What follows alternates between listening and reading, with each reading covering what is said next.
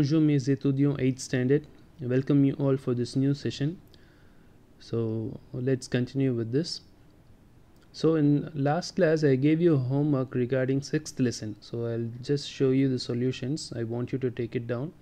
So kindly take your pencil and uh, take exercise number 6.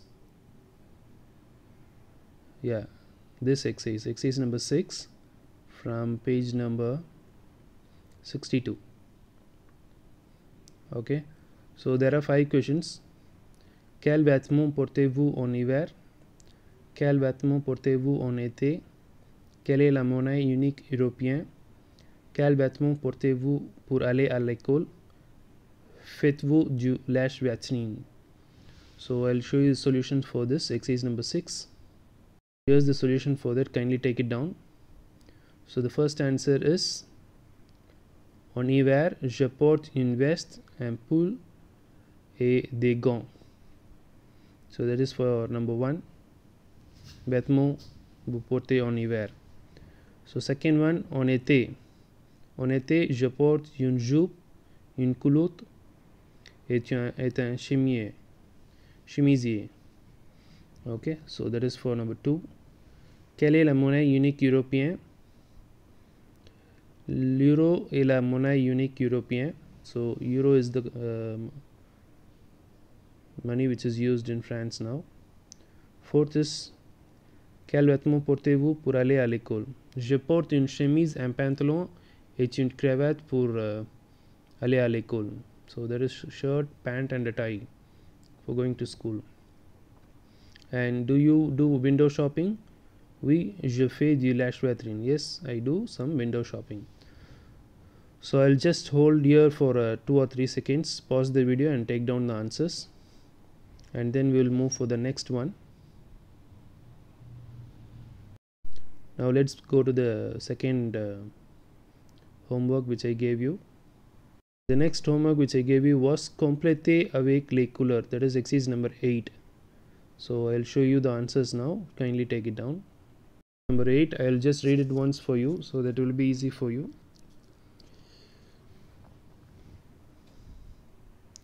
compléter avec les couleurs.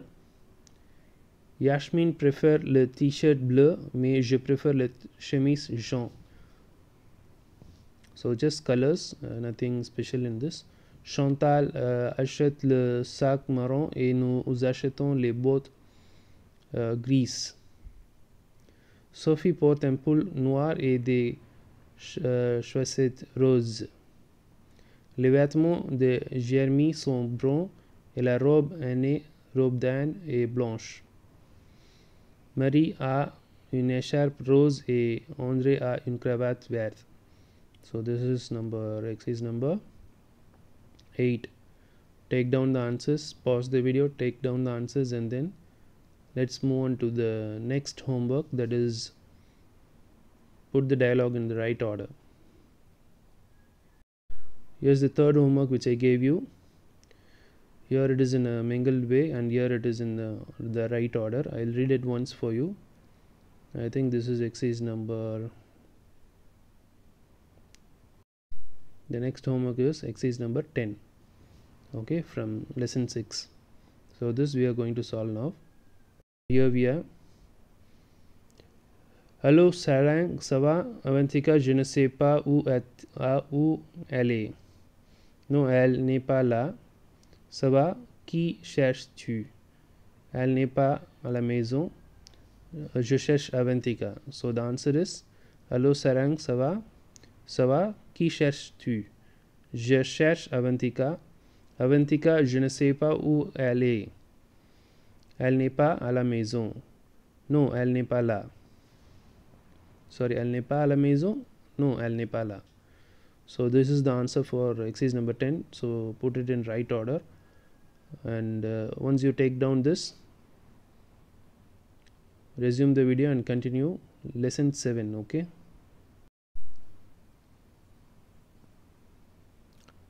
Okay now uh, let's do a short revision through a video of Allons à Paris lesson 7 this is a short recap of the lesson. Île-de-France venez allons à Paris en France. Paris, la ville lumière, est la capitale de la France. C'est une belle ville située sur la Seine. La fleuve Seine divise la ville en deux parties, la rive droite et la rive gauche. Paris est une ville très ancienne et elle a 20 arrondissements. C'est le centre économique, culturel, industriel et commercial. Elle a beaux musées, théâtres, monuments et avenues. Beaucoup de touristes visitent Paris. On peut visiter Paris en taxi, en bus, et en bateau-mouche et en métro. Le métro parisien est très commode.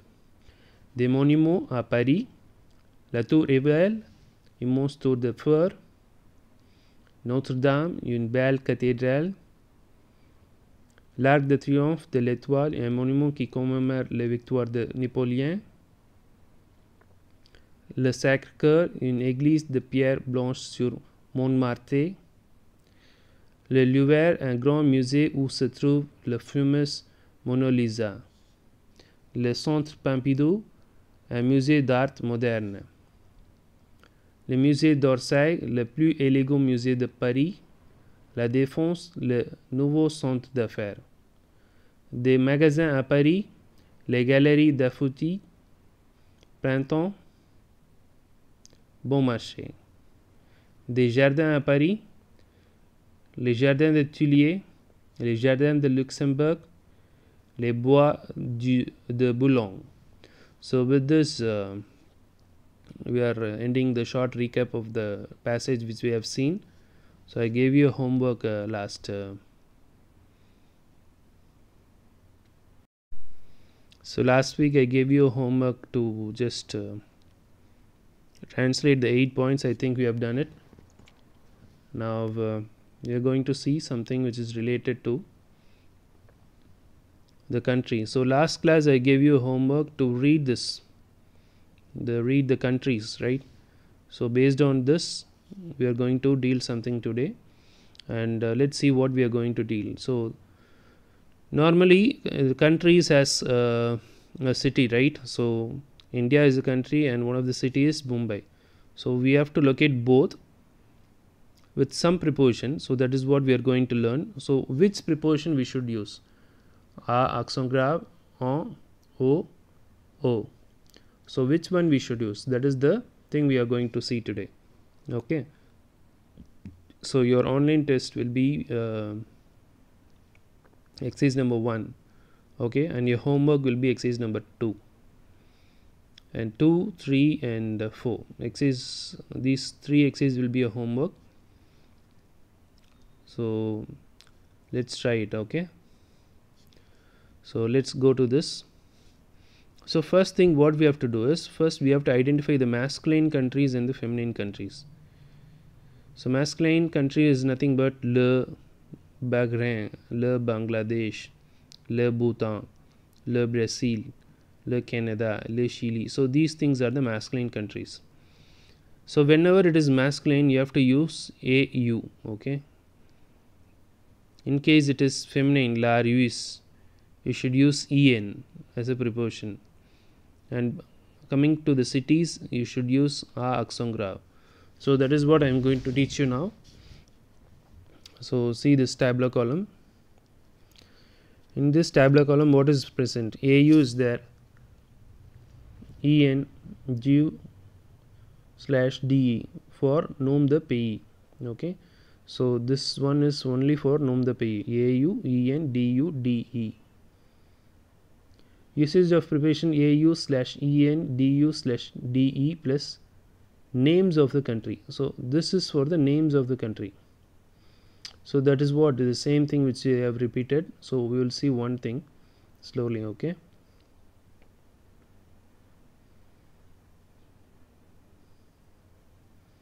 Okay first we will see this en and au aux cities is grave as i said grave preposition should be used for the city.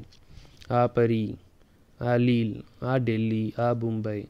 So this will be easy one. See countries with feminine names.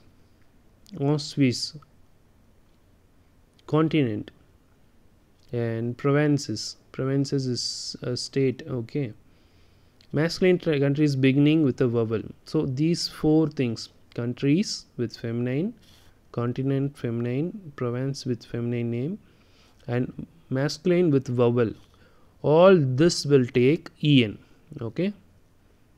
En en en en en Suisse en Amérique en Bour Bourgogne on Iran. Iran is masculine, but even though it is masculine, it is starting with a vowel, so they are using en to have a phonetic sound. Okay, masculine countries. Okay, masculine countries singular that is Japan.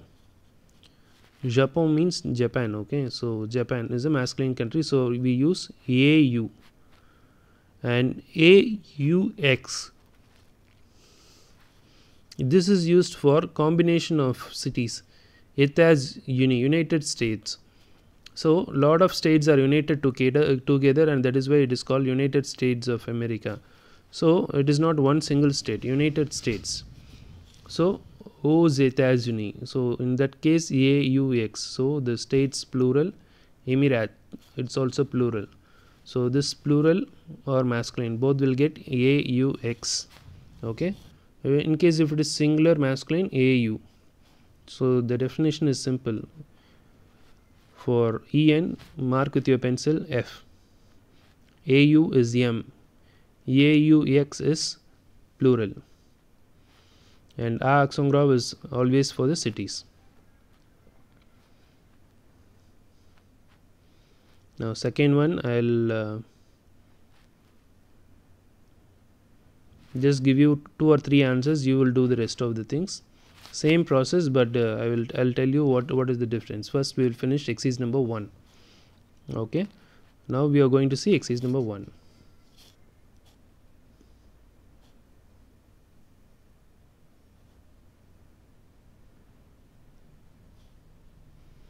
okay here's the exercise. Ilvi dash Mumbai dash and so Mumbai is a city. As I said, city will get a accent grave. First one is a accent grave. On and and is a feminine country, so automatically en on and. Je vais à accent grave Lisbon.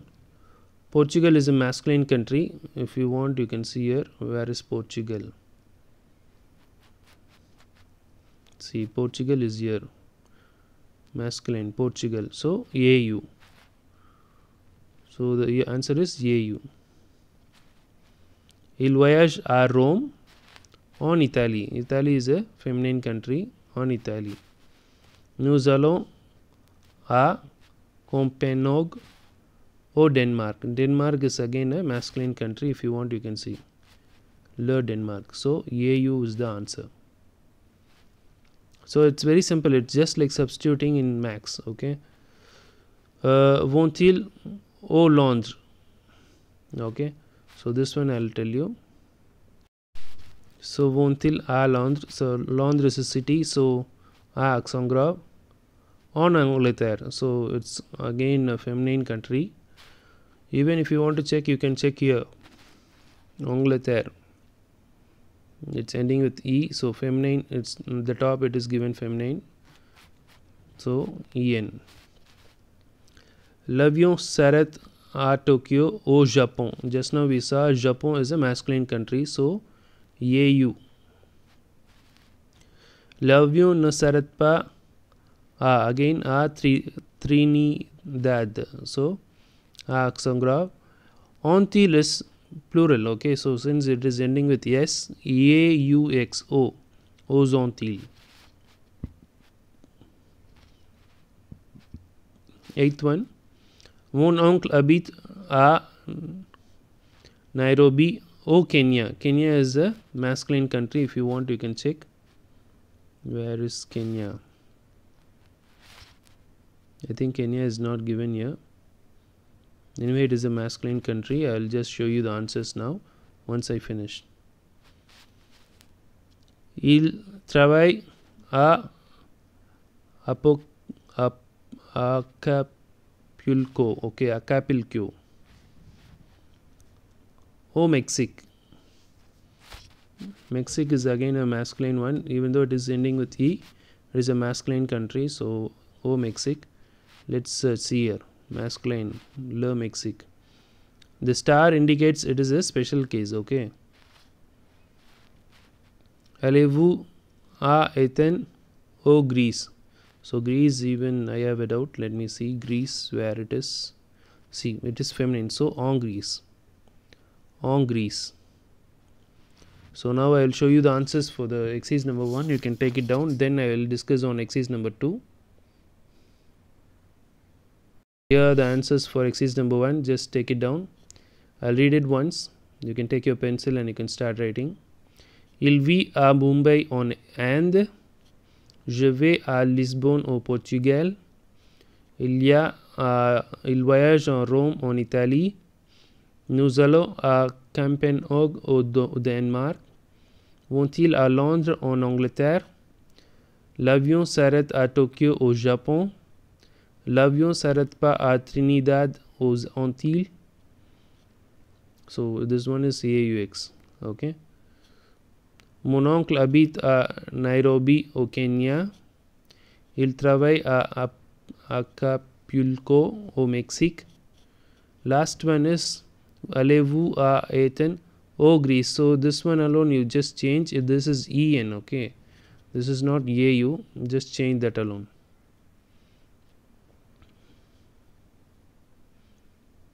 Take this CAU and replace it with EN. So the next exercise we will see now. So hope you guys understood this uh, preposition for countries and cities. I'll just repeat it. Ah, accent grave is only for cities. EN is for feminine country. AU is for masculine country. AUX is for countries with plural names. États-Unis, etc. Okay now the same thing we are going to do Japan so masculine countries will take DU and feminine countries will take DE and uh, countries with vowel they will take D apostrophe. That is what we are going to see. And we will explain you and then we'll let's come here. Okay so the second half we are going to see from page 66 so preposition pays example. I'll make it simple you can write this tabular column in your uh, classwork but I will make it simple. Feminine countries continents province. The Swiss the Americ the Bourgogne.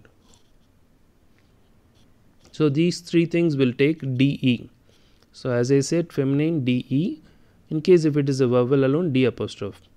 And feminine and masculine countries beginning with a vowel. So either whenever it is a vowel make it common okay so whenever it is a vowel d apostrophe. And uh, very simple des for countries with plural name emirates or uh, États-Unis. And uh, masculine countries as I said du du Japan and cities de so cities is de okay now let's go to the one.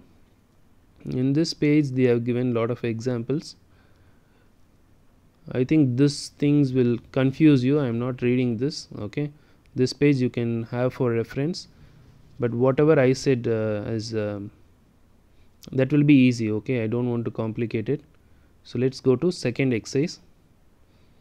Only first exercise I will give you as a online test. Second exercise I'll help you with this. You try it on your own.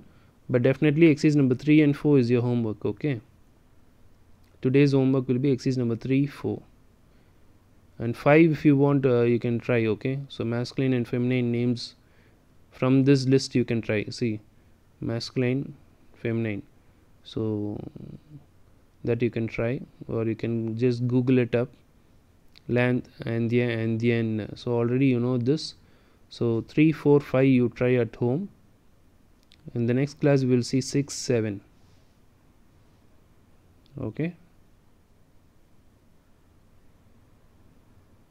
I think in the next class we can finish this lesson.